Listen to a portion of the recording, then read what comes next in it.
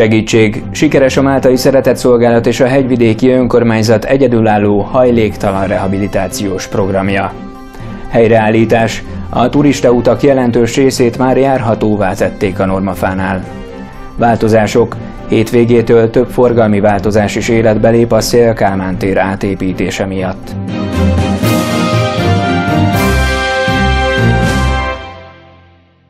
A budai híradót látják 19 órakor. Jó estét kívánok! Nem csak a lakhatás megoldásában, de a továbbképzésben és a munkakeresésben is segít az utcán élő embereknek a Magyar Máltai Szeretetszolgálat és a Hegyvidéki Önkormányzat közös hajléktalan rehabilitációs programja. A program idén is folytatódik. Eddig 18 fedél nélkülinek segítettek abban, hogy visszailleszkedjen a többségi társadalomba. Felesége halála után nem csak a munkáját, de a lakását is elvesztette Lacai Tibor. Több évig élt az utcán, miközben alkalmi munkákból igyekezett fenntartani magát. Sokszor nem is pénzért, hanem a napi betevő falatért dolgozott. A férfi rendszeresen járta a Máltai Szeretett Szolgálat Feszti Árpád utcai melegedőjébe. Itt hallott arról a hajléktalan rehabilitációs programról, aminek köszönhetően mára ismét dolgozik és fedél van a feje fölött. Eleve, hogy itt bent lehet itt lenni a melegedőben, meg mit tudom én, az is sokat számított, zuhajozni, meg mosni tud az ember. Az is, hát egy romházban laktam az előtt. A tizen, nem mondom meg, hol a 12 kerületbe. Csak utána onnan is el kellett jönnöm, mert a szomszédasszony el, hogy hívják volt, odáig megengedtük, utána meg el kellett jönnöm. És utána most úgy mondta, hogy intézték ezt a budaörsi faházba lakok most, tavaly óta. A Magyar Máltai Szeretetszolgálat és a Hegyvidéki Önkormányzat 2013-ban indította el közös hajléktalan rehabilitációs programját. Lacai Tibor is ebben vesz részt. Eddig 18 fedél nélkülinek segítettek a lakhatási problémák megoldásában, a továbbtanulásban, vagy éppen a munkahely megtalálásában. Morva Emília, a Máltai Szeretett Szolgálat régió vezetője azt mondja, a program nem csak abban újszerű, hogy a helyi szervezetek együttműködnek, hanem abban is, hogy a hajléktalanokat mentorok segítik.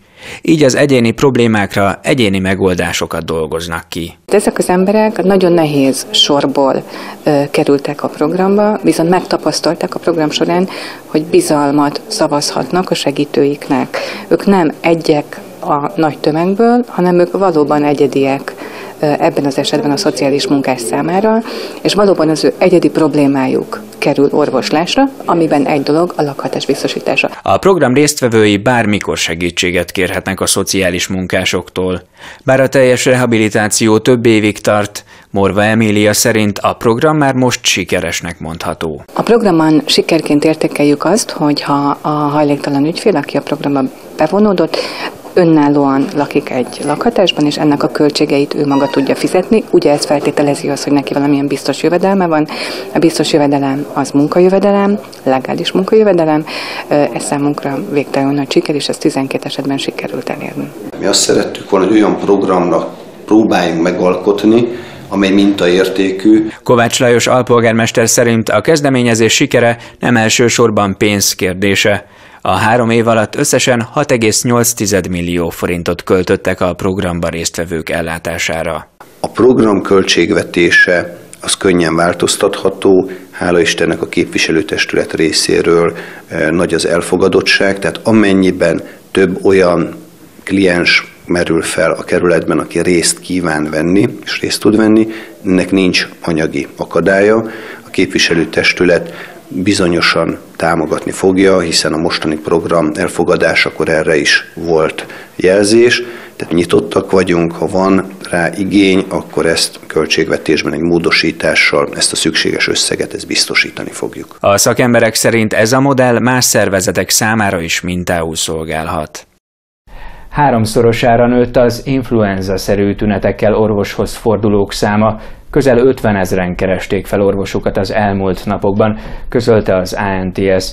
Leggyakrabban az óvodás és az általános iskolás korú gyerekek betegednek meg. Az ANTS arra hívja fel a figyelmet, hogy járvány idején csökkenthető a fertőzés kockázata az általános higiénés szabályok betartásával, rendszeres kézmosással. Járvány idején lehetőség szerint érdemes elkerülni a zsúfolt helyeket, zárt terekben pedig gondoskodni kell a gyakori alapos szellőztetésről. A járvány miatt továbbra is látogatási tilalom van a Szent János Kórház és Észak-Budai Egyesített Kórházak szülészeti osztályának újszülött, koraszülött, valamint patológiás újszülött intenzív részlegén. Elektronikusan is visszaválthatók a feleslegessé vált megyei e-matricák. Erre február 1-től március 15-ig lesz lehetőségük az autósoknak. Vasárnaptól lép életbe az a rendeletmódosítás, amely rögzíti az elmatricás UD rendszer szabályait. Ennek értelmében a januárban bevezetett megyei matricákat továbbiakban nem a megyehatár előtti utolsó, hanem a megyehatár utáni első csomópontig lesznek érvényesek, így több útszakasz ismét díjmentesen lehet használni. Lesz például a Liszt Ferenc nemzetközi repülőtérre vezető négyes főút korábban fizetősített szakasza. A turista útvonalakat és a forgalmasabb utakat már biztonságosan járhatóvá tették a normafánál. A kirándulási tilalmat ezért már feloldották, ám a szakemberek még mindig óvatosságra intik az arra járókat. A december elejé fagy miatt megsérült erdőterületek teljes rendbetétele még hónapokat vehet igénybe.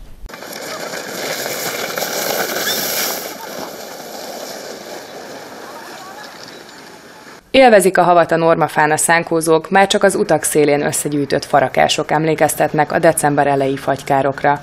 Akkor az ónos eső miatt több mint 200 hektárnyi területen szakadtak le faágak, illetve dőltek ki egész fák gyökerestől. A károk elhárítása azóta is folyamatosan zajlik. A hegyvidéki önkormányzat emberei ilyen emelőkosaras járművek segítségével dolgoznak a sérült erdőterületeken. Ahol szükséges volt, a veszélyessé vált ágakat alpinista segítségével távolították el a fákról. Mikó Gergely, a Normafa Park fenntartó és üzemeltető intézmény igazgatója elmondta, nagyjából két hónap alatt több mint 28 kilométernyi utat tettek járhatóvá, beleértve a turista útvonalakat is. 22 hektárnyi erdőterületet is megtisztítottak a legfrekventáltabb részeken. A hatóság már feloldotta a kirándulási tilalmat a Normafánál, de arra kérik a sportolókat, kirándulókat, hogy továbbra is fokozott óvatossággal közlekedjenek a területen. Kérjük arra a turistákat, hogy csak a kijelölt turistautakon menjenek, amik meg vannak tisztítva, mert az erdőterület az még nagyon veszélyes. Félig kidőlt fák, fekszenek egymáson, egy kis szél, vagy valaki megmozdítja, ezek ledőlhetnek és sérülést okozhatnak. Ezekkel is folyamatosan e, dolgozunk, de ez egy hosszabb időt vesz igénybe, hiszen e, több száz, két, durván 200 hektár az a terület, amit még így meg kell tisztítani. A libegő melletti fenyvesnél a legdrámaibb a helyzet, itt szinte egyetlen fa sem maradt épségben. Egyelőre tárgyalások folynak arról, mi lesz a sorsa a kényszerből kivágott nagy fa mennyiségnek. Az biztos, hogy az utak mentén felhalmozott nagyobb rönköket elszállítják, míg a kisebb darabokat felaprítják, az aprítékot pedig elterítik a talajon. Hogy mi lesz vele később, egy intézmény fűtését megoldja az önkormányzat, vagy értékesítjük. Hát sajnos ez a legrosszabb minőségű tűzifa, hiszen eh, nem egész fák dőltek szerencsére legtöbb helyen, hanem inkább kar és combastagságú ágak, de ezek is feldarabolásra kerülnek, és, és beszállítjuk őket az önkormányzathoz.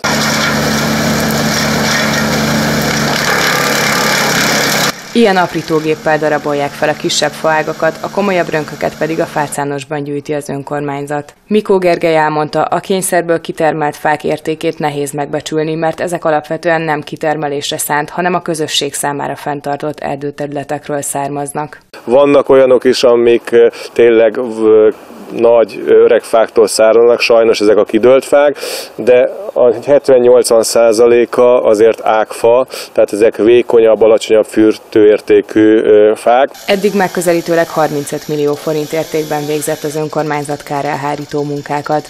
A közterületek megtisztításán minden nap 20-25 ember dolgozik. Az önkormányzat és társaságainak munkáját parkfenntartó cégek segítik. A teljes helyreállítás még hónapokig is eltarthat.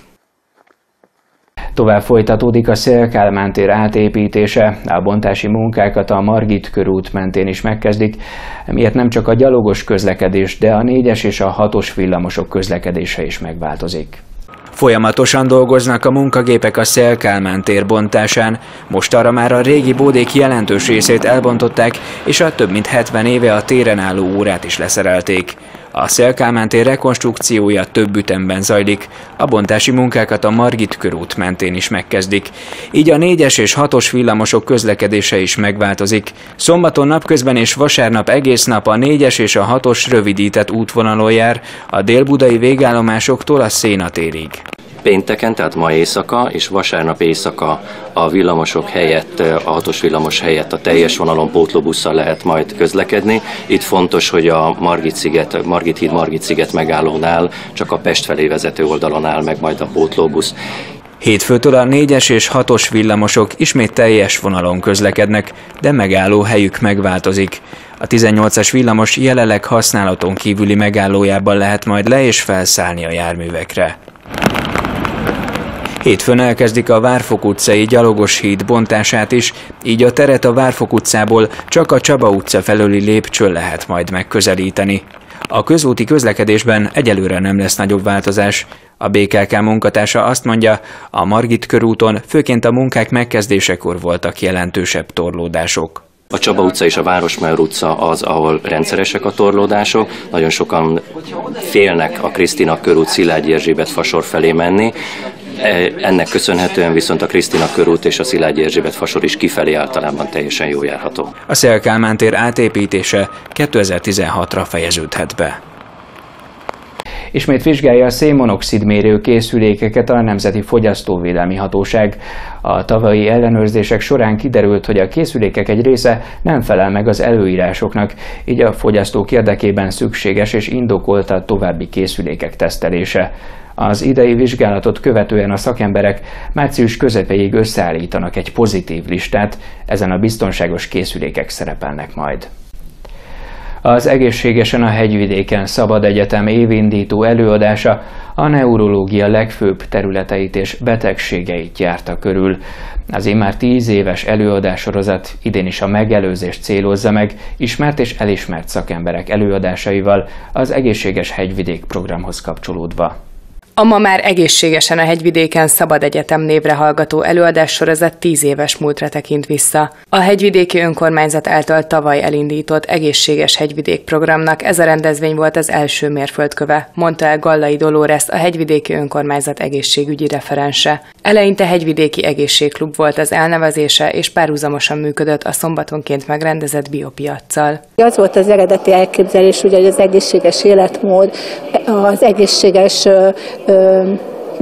egészségtudatos gondolkodásra ösztönözzük a kerület lakosait, akkoriban ezt egy házi orvos vállalta fel, a temati, illetve az ütemezése ugyanez volt, tíz alkalommal évente, de ugye kifogytunk a házi orvosi témákból, és attól kezdve Hegyvidéki Szabad Egyetemnek hívjuk ezt a programot, amelyre a kerületben a területi ellátással bíró János Kórház neves szakorvosai, valamint a Budai Egészség Központ szintén híres nevezetes orvosai jönnek el, és tartanak különböző témában előadásokat. Az évadnyitó előadáson ezúttal is megtelt a MOM Kulturális Központ kupolaterme. 2015 első egészségügyi témájú előadását dr. Német Rozália neurológus szakorvos tartotta a neurológia területe legfőbb neurológiai tünetek és betegségek címen. A doktornő átfogó képet kívánt adni a leggyakoribb betegségekről, amelyek az idegrendszerhez kapcsolódnak. Azt gondolom, hogy neurológussal az életében mindenki találkozik, vagy így, vagy úgy, vagy betegként, vagy hozzátartozóként. E, gyakran utalják el a betegeket neurológiai vizsgálatra. E, szeretnék néhány félreértést e, tisztázni, leggyakoribb betegségekről, tünetekről, a leggyakoribb panaszokról beszélni egy pár szót. Dr. Német Rozália elmondta, előadását igyekezett úgy összeállítani, hogy abban közérthetően be tudja mutatni a leggyakoribb korképeket. Emellett célja volt eloszlatni néhány tévhitet és megnyugtatni a hallgatóságot olyan tünetekkel kapcsolatban, amelyek elsőre ijesztőek lehetnek. Az előadásból kiderült, hogy például a szédülés sem minden esetben jelez komoly betegséget. A doktornő emellett súlyos idegrendszeri betegségeket is bemutatott előadásában villámcsapás-szerű, nagyon éles fájdalmak, ami sokszor a beteget beszéd és rágás képtelenné teszi, mert a rágás vagy a beszéd is provokálja ezeket a villámcsapásszerű fájdalmakat.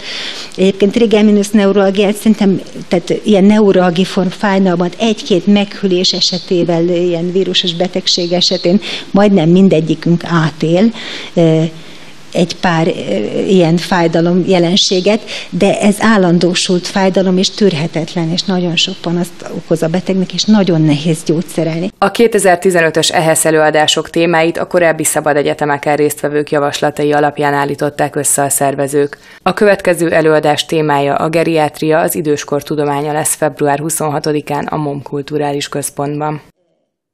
A Nemzetközi Kempó Szövetség döntése szerint Budapesten rendezhetik meg a Kempó Európa bajnokságot. A rangos megmérettetése decemberben kerülhet sor. Tavaly szintén a magyar főváros, ezen belül is a Momsport adott otthont a Kempó világbajnokságnak. Ezen Magyarország 33 arany, 27 ezüst és 72 bronzérmet szerzett az egyéni kategóriákban, míg az országok összesített rangsorában Románia és Hollandia mögött harmadik lett. Adásunkat az interneten is megnézhetik honlapunkon a hegyvidéktv.hu-n. Munkatársaim nevében is köszönöm figyelmüket, kellemes hétvégét kívánok viszontlátásra!